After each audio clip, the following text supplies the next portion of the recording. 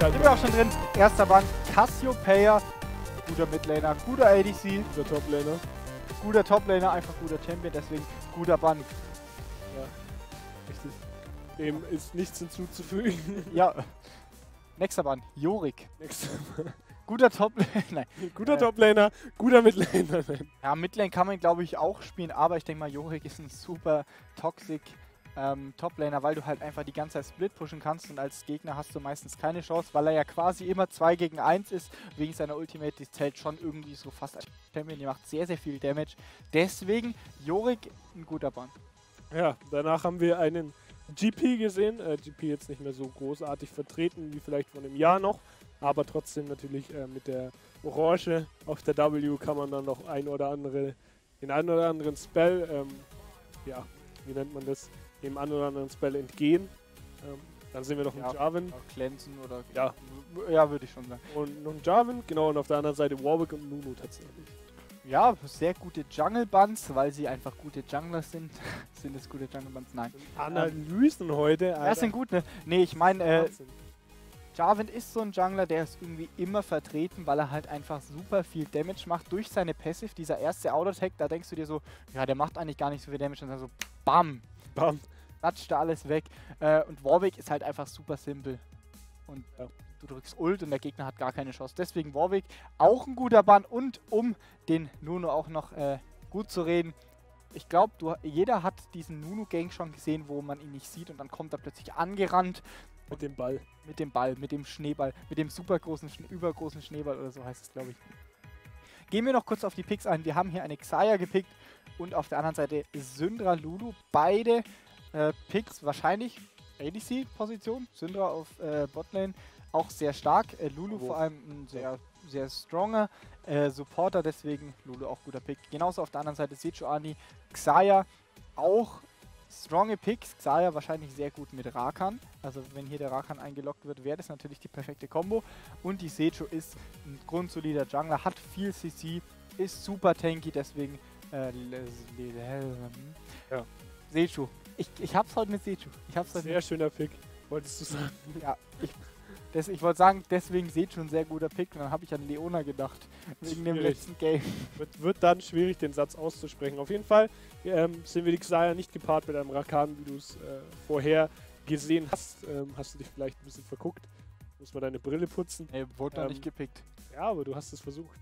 Ich habe es versucht zu predikten. Und wir Least sehen auch die Syndra nicht auf der ADC-Position, sondern wahrscheinlich die Wayne. Ebenfalls richtig. Ja, ein bisschen, Ähm, ja. Auf jeden Fall gepaart mit einem Nautilus, um jetzt den Satz zu beenden. Äh, trotzdem eine nicht gerade weniger starke Botlane. Auf der anderen Seite Lulu Wayne, wie wir es gerade angesprochen haben. Und eine Syndra auf der Mitte sehr confident gefirstpickt.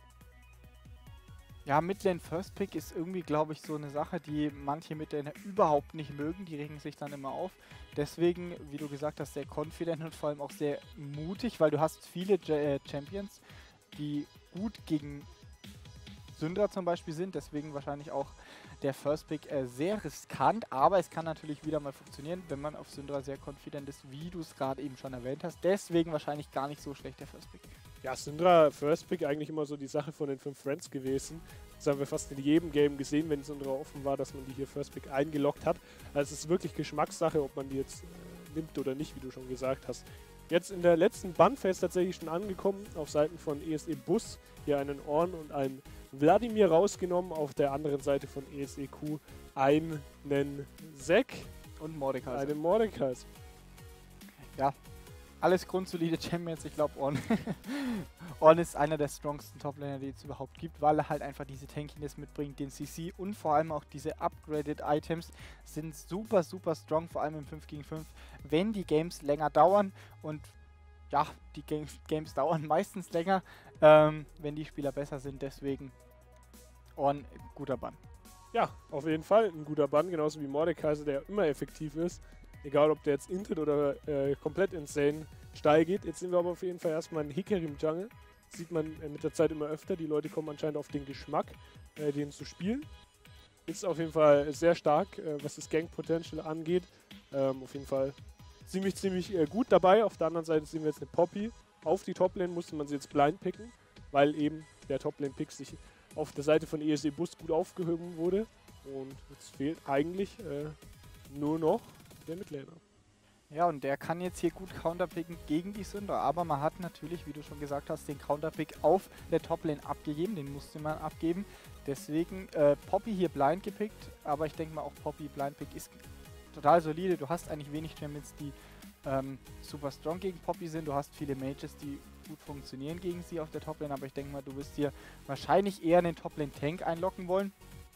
Und Tank Matchups sind eigentlich meistens immer even für beide. Ja, Tank-Matchups sehr, sehr stumpf. Äh, da wird dann erstmal 15 Minuten nur auf sich rumgekloppt. Apropos auf sich rumkloppen. Den Tran Tr Trundle, Alter, mein Englisch ist heute so on point. Den Trundle eingeloggt tatsächlich. Und man schickt ihn nicht in den Jungle und die Vayne auf die Toplane. Wäre auch lustig gewesen. So, da sind wir auch schon in Game und wir sehen hier keinen Invade, wie der Niki äh, callen würde. Wir sehen hier einfach äh, gutes Anti-Invade Potenzial von beiden, deswegen anti-invaden sie beide. Ja, wir hatten eine kurze Ingame-Pause davor tatsächlich. Die Maus war kaputt. Das ist natürlich sehr Ist sehr schnell zum Mediamarkt gefahren, hat sich eine neue gekauft. Genau so wird es passiert sein. Ja. Genau so wird es passiert sein. Haben wir obviously gefixt. Alle Champions bewegen sich recht flüssig, von daher. Vielleicht spielt er auch jetzt mit Controller oder so. Ja, das wäre. Geht ja, ne? Ja, aber stell dir mal vor. Und stell dir mal vor, die würden dann noch gewinnen. Das wäre crazy. Das. Aber stell dir vor, du könntest mit Controller spielen und deinen Champion wirklich steuern mit, mit deinem Joystick und du müsstest nicht die ganze Zeit klicken, sondern dass der wirklich immer läuft, wenn du den Joystick bewegst. Dann wäre es wirklich echt cool. Dann könnte man sich über, dann könnte man sich überlegen, ob man nicht wirklich mit Controller spielt. Ja, dann kannst du mit dem anderen Stick kannst du dann die äh, Skillshots aimen. Da musst du halt mit fester Kamera spielen. Oder du. Weil irgendwie musst du ja deine. Oder nee, deine Skillshots fliegen dann halt wirklich immer in die Richtung, wo du stehst. Ja, machen sie ja sowieso. Ja, Also dein Champion dreht sich dann schon dahin, aber wenn du jetzt nach hinten huckst, ja, okay, es wäre doch nicht so gut vielleicht. Aber es wäre natürlich eine coole Idee es gewesen. wäre keine schlechte. Da gebe ich dir auf jeden Fall recht, wenn man den Champion bewegen könnte mit dem Stick, wäre das eine nette Sache auf jeden Fall. Ich meine, wenn du zwar deine Maus bewegen kannst, aber dann die ganze Zeit irgend auf eine Taste drücken musst, damit er da hinläuft, ist es, glaube ich, nicht ganz so geil. Das ist richtig. Das wäre nicht so lit. Jetzt sehen wir aber den ersten Engage vom Trundle tatsächlich. Macht da doch gut Schaden, aber schöner Hook hier auf die Lulu. Ich wollte schon ansprechen. Die steht sehr, sehr weit vorne. Dass sie da nicht früher gepunished wurde, überrascht mich ein bisschen. Aber jetzt hat man sie dafür gepunished. Aber auf der anderen Seite hat man auch gut Damage auf die Xayah durchgebracht.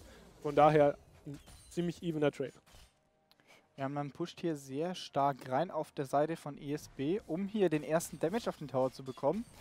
Und das muss ich sagen, hätte ich jetzt nicht so erwartet. Ich dachte meistens, dass Xayah doch äh, gute Lane Pressure immer haben kann, vor allem mit einem Nautilus. Deswegen die gepushte Wave einfach, um vielleicht hier den Gank von der Sejuani zu forcen, dass die halt schneller auf der Lane sein kann und ein besseres Gankpotenzial hat.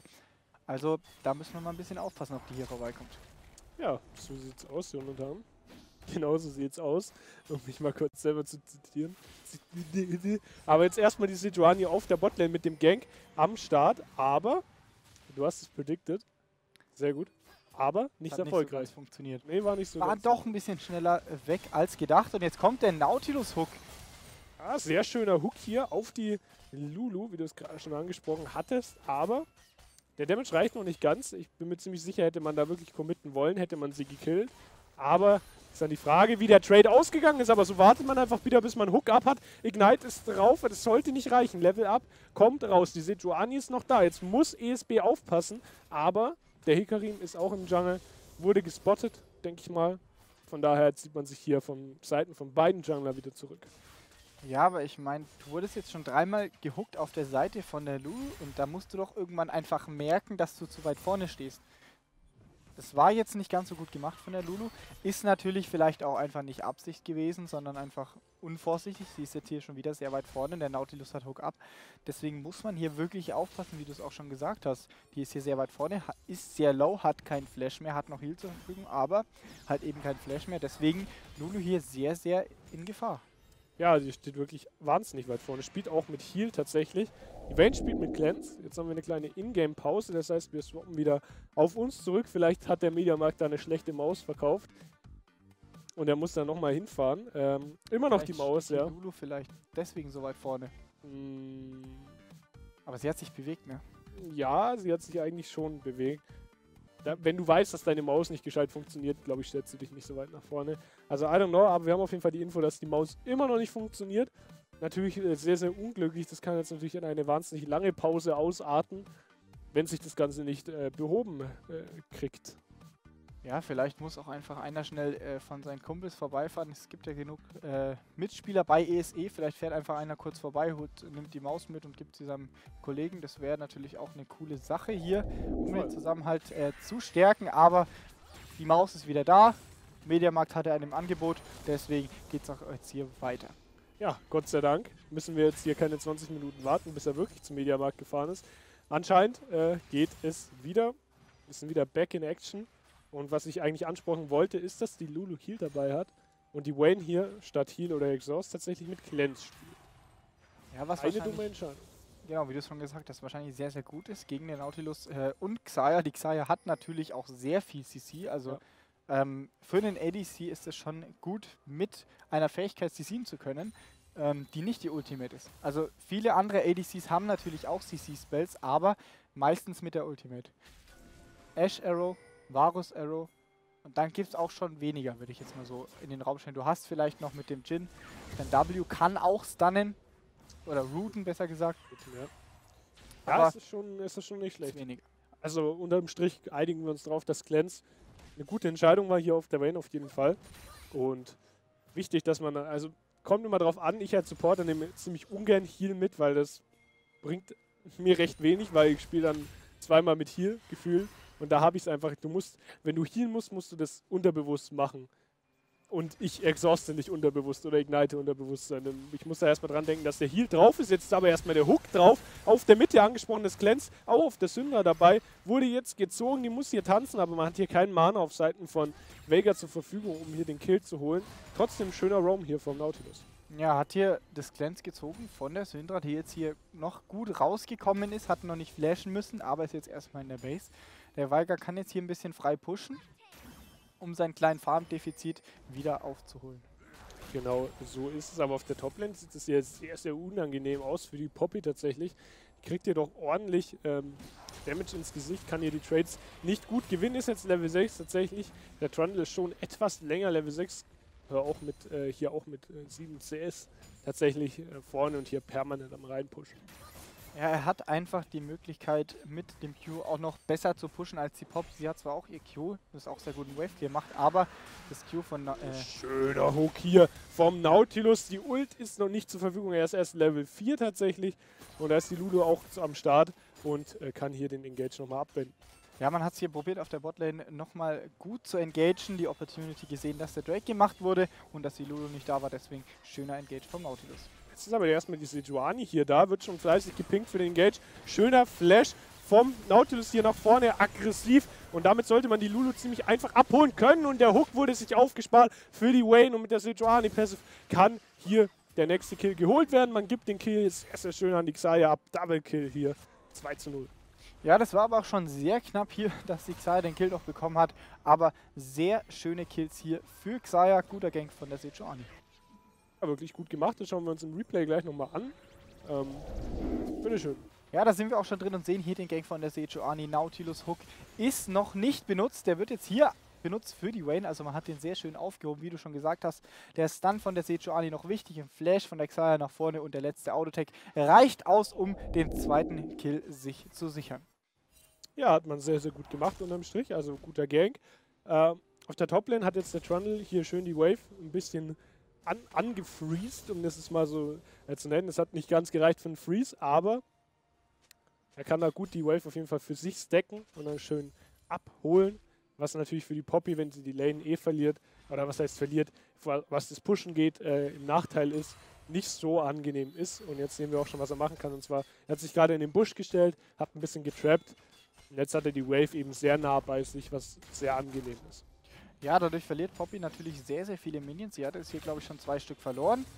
Ähm, und Poppy ist sowieso schon ein bisschen im Defizit, wie du schon gesagt hast. Sehr gut gemacht von Trundle hier. Und vor allem auch einfach, weil er mehr Damage hat, kann er die Poppy natürlich deutlich besser punishen, wenn sie jetzt hier für die Minions geht.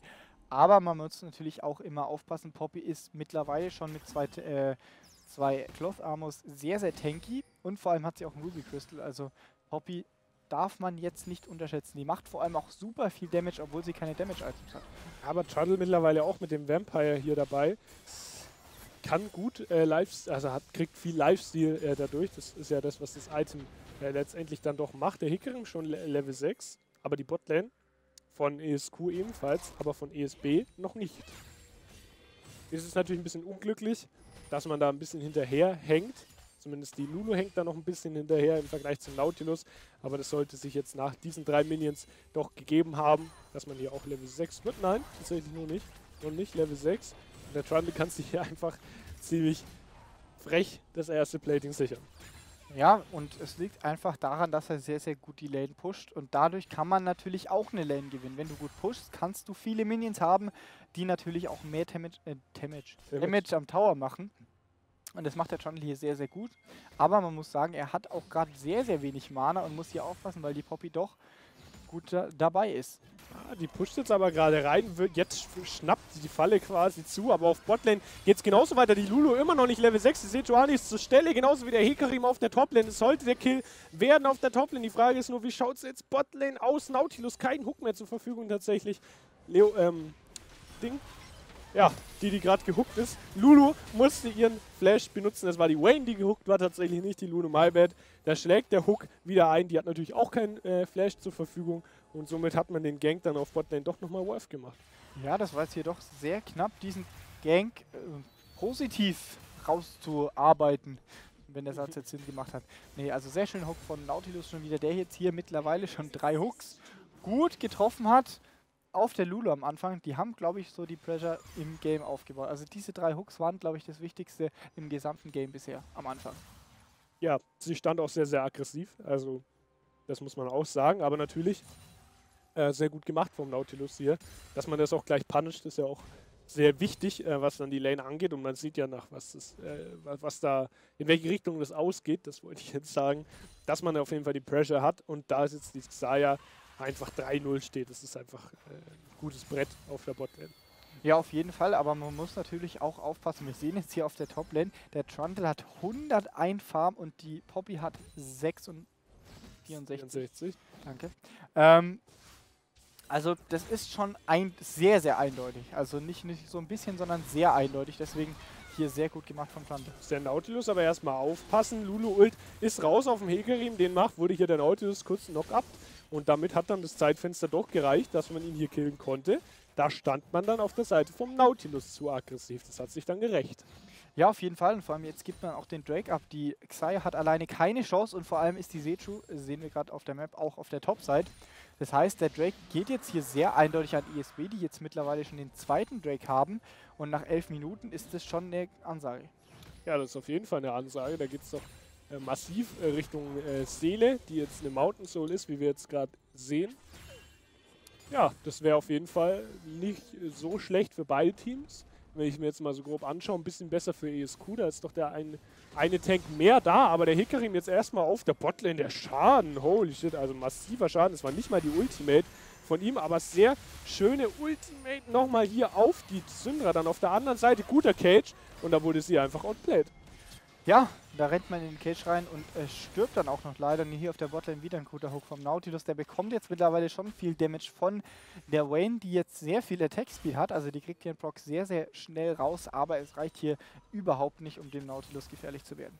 Nee, der ist einfach sehr, sehr tanky, wie ich schon angesprochen hatte. Jetzt aber Hekarim hier, wie gesagt, unstoppable, ultet hier durch den Cage durch, muss es aber doch beide, alle vier Hufe in die Hand nehmen, nicht beide Beine, alle vier Hufe in die Hand nehmen, damit er hier raus kommt. Aber der Herald ist mittlerweile Mitte geplaced, aber der Nautilus hier, sehr, sehr schöner Flash, um hier den ADC zu safen. Er kriegt den Autotext dann nochmal durch, ist jetzt aber Polymorph, der kann gerade nichts machen. Jetzt wäre der Hook ungefähr wieder ab. Der ist auch schon wieder raus auf der Wayne. Die muss jetzt hier kiten um ihr Leben. Sehr schönes Stopwatch, der TP ist da. Von der Poppy kann man das hier vielleicht nochmal Worth machen auf Seiten von ESQ. Da müsste man jetzt einen Kill dafür kriegen man schafft es nicht ganz. Oh ja, da hat die Wayne aber gerade ganz schön erschrocken vor der Sejuani. Die hätte nicht mal Ult abgehabt, aber trotzdem aus Sicherheit nochmal rausgeflasht. Ja, aber das war hier sehr, sehr gut gemacht von ESB, die eigentlich wenig investiert haben. Sie haben hier nur die Ultimate von Lulu, glaube ich, investiert und den Heal äh, gegen TP und einfach vier Mann Botlane. Also das haben sie sehr, sehr gut gespielt und vor allem die Xayah ist ja 3-0. Wie konnte das so eindeutig sein für ESB? Die Wayne war sehr, sehr gut positioniert hier in dem Fight, deswegen gut gemacht von der Wayne. Ja, auf jeden Fall gut gemacht. Jetzt sehen wir aber erstmal den Vega auf der Toplane gegen den Trundle. Leider gar keine Chance, wurde da auf jeden Fall äh, gut äh, low gepokt. Und jetzt muss er aufpassen, der ist tot. I guess. Schönes Barrier nochmal. Schöner W, hier gut mit der Tower Akku gearbeitet. Kommt man in Ult Range? Nein, da hätte er vielleicht ein bisschen früher ulten müssen. Das hätte auf jeden Fall gereicht. Hat man sich nicht ganz getraut. Letzten Endes noch gut gespielt. Ein bisschen zu aggressiv vom Trundle. Ja, aber der Damage war schon, schon vorhanden. Ne? Also war guter Damage hier vom Trundle, der den Weiger einfach mit einer Q Autotech. Ne, nicht Q. W ist. Nee, W. doch, doch Q. Q ist der. der Was meinst du? Ach so, vom, vom Trundle. Oh, der Vega wollte es aber nochmal wissen. Das war viel zu greedy, Mann. Das war viel zu greedy, sich da in den Turret reinzustellen. Aber die Sejuani, vielleicht kriegt die hier nochmal was durch. Sehr schöner Pillow nochmal, aber die geht hier in die ganz falsche Richtung. Ja, okay. Dann, dann nicht. Ja, ich glaube, man hätte es hier auch gar nicht probieren müssen. Trundle ist schon sehr, sehr gut dabei mit 134 Farm nach nur 14 Minuten. Also der ist hier, glaube ich, äh, der beste Spieler hier gerade zur Zeit von ESB. Der ist gut dabei, der hat die Poppy schön klein gehalten und vor allem auch den Weiger hier nochmal gekillt. Also da muss man wirklich aufpassen. Den Trundle darf man nicht unterschätzen. Ey, der macht wirklich, wirklich massiven Schaden. Könnte eine tickende Zeitbombe werden für ESQ, auf jeden Fall. Ich höre gerade, wir kriegen nochmal ein Replay rein von dem Sidestep auf der Toplane. Schauen wir da nochmal kurz rein.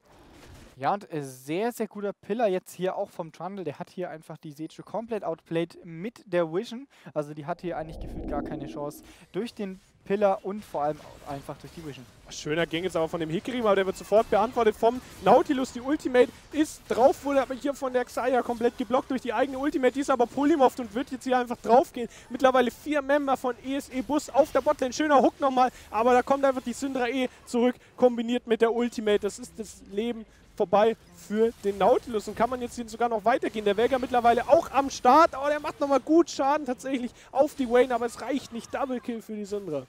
Ja, dann ist man, da ist man vielleicht ein bisschen spät gemoved auf der Seite von Weiger Syndra, aber hier deutlich früher am Start. Ähm, dadurch holt man sich den ersten Tower des Spiels und vor allem auch sehr, sehr eindeutig hier auf der Botlane. Ja, das war wirklich eindeutig. Gu- Guter Gang wieder von ähm, Hikarim, obwohl Nautilus das, oh, das war knapp, Nautilus das ähm, ziemlich gut gespielt hat, muss man sagen, aber da konnte er dann letztendlich auch äh, nichts äh, mehr machen. Ja, warum hat sie denn hier Tower-Aggro bekommen? Sie hat doch nur getumbelt und den Tower-Autotech. Das sind Komische Fragen. Sache, komische Sache. Und jetzt holt man sich meanwhile den äh, ersten Tower auf der Top-Lane. Also es steht hier 2 zu 0 in Towern und vor allem auch 2 zu 0 in Drakes. Also es ist doch mittlerweile schon gut äh, für ESB äh, hier gelaufen, ne? Ja, ist schon, habe ich ein bisschen anderes Satzende Ja, erwartet. ich auch, aber Ja, ist äh, schon, läuft gerade nicht so schlecht für ESB tatsächlich, kommen gerade gut ran. Aber natürlich ESQ immer noch nicht, am, nicht schlecht am Start. Hier 004 im Jungle. Toplane ist zwar vom Farben massiv behind, aber Poppy skaliert auch ganz gut. Und wir haben natürlich die absolute Winning Botlane, wenn wir uns nur die Botlane anschauen, ohne Jungler jetzt mal kurz rausgenommen. Midlane sieht es aber tatsächlich ein bisschen besser noch aus für ESB. Der Hook geht jetzt drauf, gleichzeitig mit der Sejuani-Ult, aber Lulu ultet sich einfach selber, kriegt 200 HP mehr und kann einfach rauslaufen. Sie überlebt einfach diese Double-Ult, also diese Ult-Hook-Kombination. Habe ich jetzt nicht gedacht. ja, und da hat man schon wieder sehr viel investiert, um einen Kill zu holen. Und die Luli ist hier doch relativ eindeutig rausgekommen. Jetzt sehen wir hier ein 5 gegen 5 auf der Seite. Äh, Schöner Hook hier nochmal. Nein, wir haben eine Ingame-Pause mitten im Fight. Oh, das ist, oh, das ist sehr ärgerlich, dass man hier mitten im Fight Ingame paust. Das ist von beiden Teams jetzt nicht wirklich der optimale Zeitpunkt gewählt. Macht man eigentlich nicht, ähm, dass man es mitten im Fight macht. Aber ich meine, es ist wieder die Maus. Ähm, Hast du gerade den Knockback von der Syndra gesehen? Die hat fünf Mann genockt. Ja. Das war sehr, sehr strong. sweet. Also ich glaube, dieser Fight könnte hier doch noch relativ eindeutig ausgehen für ESB, die hier viel CC gerade draufgebracht haben auf ähm, die- die Skrulls. Wobei sie einen Member schon ziemlich sicher verlieren. Aber du hast keine äh, Seju. Ult. Ja, du hast keine Seju. Ah, schade. Können wir vielleicht nochmal kurz das Bild sehen, dann können wir das kurz analysieren. Das wäre super. Oh, das wäre toll. Ah. Genau, du hast keine Seju-Ult mehr zur Verfügung. Nautilus-Ult, ich weiß nicht, ob die auf Cooldown ist oder nicht, keine Ahnung, das sieht jetzt Hier ist äh, komisch aus. nicht auf Cooldown, glaube ich. Ähm, Poppy-Ult hast du natürlich auch nicht mehr am Start. Auf der anderen Seite hast du eigentlich alles zur Verfügung, außer Lulu-Ult. Du hast vor allem auch noch Heal am Start und Cleanse auf der Wayne. Das heißt, es kann sehr, sehr gut laufen äh, für ESB. Die Xayah ist hier mittlerweile auch schon sehr low gedroppt von diesem einen E von der Syndra. Die auch noch Ultimate und Flash zur Verfügung hat. Genau, also kommt sie vielleicht doch noch raus. Und ich habe hier gerade gesehen, der Timer hat, glaube ich, runtergezählt. Das heißt, wir sind gleich wieder am Start in-game, bevor wir noch einen kurzen Delay eingebaut haben äh, für das Replay. Ja, gucken wir mal. Wir müssen eigentlich gleich wieder reinspringen. Nein, noch kurz überbrücken. Sollen wir das kurz... Wegen dem Replay. Wegen dem Replay. Aber das hast du ja noch nicht mitbekommen, weil du immer noch im Casten warst. Tja. Weil der Replay ist natürlich immer 30 Sekunden vor dem Jetzt geht aber der Fight erstmal weiter. Die Syndra lebt noch. Auf, auf der anderen Seite ist jetzt mittlerweile der Hekarim gestorben. Aber das sieht nach einem Winning Fight für ESB aus. Mittlerweile Double Kill für die Wayne, Triple Kill für die Wayne und ein Kill ist noch an die Syndra abgedrückt worden. Wie wir es angesprochen haben. Sehr eindeutiger Fight für ESB. Ja, äh, wir schauen noch mal kurz ins Replay rein und analysieren diesen Fight ein bisschen besser, weil der war ein bisschen abgehackt. Äh, fangen wir einfach an von der Sünder, die hier eigentlich recht gut äh, flanken kann. Hier mit dem Knockback, den sehen wir nochmal sehr, sehr schön gemacht. Vier Leute genockt und der Hekarim holt hier den Weiger raus, der jetzt plötzlich mitten im Team äh, von ESB steht und die Wayne, die geht hier komplett durch. Keiner hat irgendeine Chance an die Wayne ranzukommen. Der Trundle spielt hier perfekte Fronter. Der, der Fight war sehr, sehr clean gespielt von ESB. Auch sehr schönes Cleanse von der Syndra, das muss man auch ansprechen wahnsinnig gutes Positioning von der Wayne. Auch gut äh, von der Ludo gemacht, dass sie da wirklich ganz, ganz hinten steht, noch weiter hinten als die Wayne. Und wenn sie dann vormoved, moved die Lulu quasi hinterher mit ihren ganzen Schilden und Buffs. Gut gemacht, wirklich clean gespielt von ESE Bus und somit auch der dritte Drake. Und das soll es gewesen sein für den Wager. Kann sich hier nicht verteidigen, macht nicht mal Schaden. Also der Damage von Weiger ist irgendwie noch nicht vorhanden. Der war ja eigentlich gar nicht so schlecht dabei, ne? Nee. Der stand ja, glaube ich, sogar 1-0 irgendwann mal oder 1-1. Also auf jeden Fall war er relativ solide dabei. Und schauen wir nochmal ganz kurz aufs Gold, äh, während ESB hier den Herald macht. Ja, gucken wir es uns an. Toplane natürlich massiver Scha äh, Farmunterschied. massiver Farmunterschied. Demnach auch zwei Kills auf dem Trundle, auf der Poppy nicht auch massiver Gold-Lead. Dann jetzt sehen wir aber erstmal hier den Engage auf der Botlane. Hier der Nautilus schon ziemlich, ziemlich low. Die Wayne hat hier gut mit dem Cleanse gearbeitet, hat noch Flash zur Verfügung. Kitet ist jetzt raus. Der erste ist down. Die Lulu ist immer noch da. Sie schildet hier einfach bis zum Geht nicht mehr. Double Kill hier für die Wayne. Das wird der Triple Kill werden. Da ist er auch. Well played von der Lulu an der Stelle. Ja, und da ist der angebro äh, angebrochen, Angebrochen, angesprochene Damage von Wayne am Start gewesen, die einfach die Tanks komplett down meldet. Also die haben hier überhaupt keine Chance. Die denken sich, oh Gott, bin ich jetzt ein ADC oder was, auf die Damage will ich bekommen. Also sehr, sehr gutes Spiel hier von der Wayne und vor allem auch von der Lulu. Ja, wir gucken uns das Ganze nochmal im Replay an. Das hat sie wirklich sehr, sehr gut gekitet hier. Das Cleanse haben wir jetzt gerade nicht mehr leider gesehen. Sie hat hier wirklich keinen Mana, muss sie nur mit den Autotechs arbeiten. Jetzt kommt das nächste Lulu-Schild, wieder der Attack-Speed-Buff zur Stelle und dann ist die Sundra da, kann hier mit einem sehr schönen E die Sejuani stunnen und dann braucht es nur noch zwei Autotakes von der Wayne, weil die schreddert ja wirklich jeden Tank gerade. Ja genau, und jetzt sehen wir hier auch gerade den äh, ersten Inhibitor Tower, den sie hier geholt haben, mit Hilfe des Heralds hier auf der Seite von ESB, die mittlerweile 6 zu 0 in Towern stehen. Ah, die Syndra muss die aufpassen, hat hier versucht, ein bisschen zu greedy den Veigar zu one-shotten, aber man kriegt hier tatsächlich doch nochmal äh, was aus der Situation raus. Man hat den Veigar anscheinend tatsächlich gekillt. Das hätte ich nicht auf dem Schirm. Ja, irgendwie jetzt gerade Double Kill. Ich glaube, die, die Ult hat ihn nicht ganz gekillt, so wie ich es gesehen habe. Deswegen habe ich da auch einfach weitergeredet. Ich dachte nicht, dass sie den. Ja, ich dachte killt. auch nicht, dass. Äh, aber irgendwie hat sie doch noch den Kill bekommen. Also es war hier sehr, sehr knapp den Kill zu kriegen. Aber Syndra hier mit 5 äh, Kills, also die macht schon viel Damage. Ne? Ja, die macht massiv viel Schaden und damit belohnt man sich jetzt tatsächlich auf Seiten von ESE Bus mit dem Nash. Ziemlich easy, uncontested. Sieht sehr gut aus für sie. Ja, und vor allem hatte man hier auf der Seite von den Squirrels gar keine Vision. Also die Vision war hier nicht vorhanden. Ähm, und ESE Bus rennt hier doch gut drüber mit 13.000 Gold. Äh, Difference bei 21 Minuten und 3 zu 0 Drakes und vor allem auch 6 zu 0 Tower. Also die sind hier sehr, sehr gut dabei. Ja, da hat der Early Lead von der äh, Xayah doch tatsächlich gar nicht mal so viel gebracht für ESQ. Da hat man nicht viele. Oh, das ist unglücklich. Das ist natürlich sehr unglücklich, dass sie da. Oh, der Hook, close one. Dass sie da äh, in den Cage ganz knapp noch reintampelt, ist sehr, sehr bitter. Und dann ist es natürlich nur noch Formsache. Da macht selbst der 1-5 Wager macht dann schon massiven äh, Schaden hat jetzt sein äh, Hextech GLP schon zur Verfügung.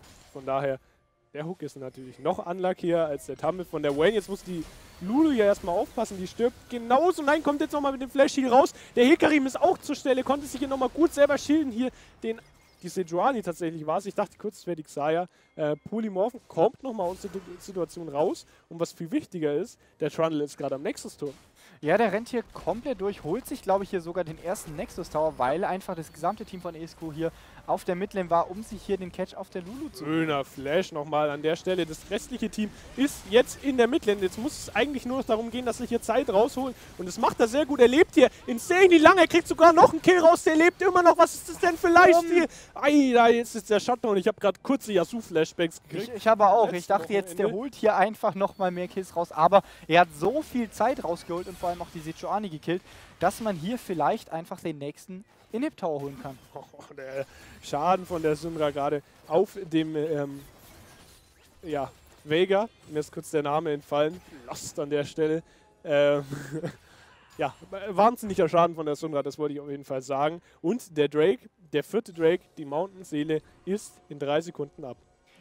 Ja, und ich glaube, da hat man auf der Seite von ESQ wenig Chance, den zu contesten. Man muss hier den nächsten Nexus Tower defenden. Also man hat hier nur noch den Nexus Tower und den Midland Inhib äh, Tower. Deswegen, und das war sehr, sehr komisch hier gerade das Cube. Oh, aber nochmal mit dem Flash Engage hier gegen den toten Tower. Aber das sollte nicht reichen für die Poppy. Nein, es reicht nicht. Jetzt wird man hier aber komplett gewonshottet auf Seiten von ESE Bush. Sehr schöne Vier-Mann-E-Kombination hier nochmal von der Syndra, um hier Schlimmeres abzuwenden. Aber der Hekarim und ich glaube der Trundle sind die... Oh, oh, oh Syndra!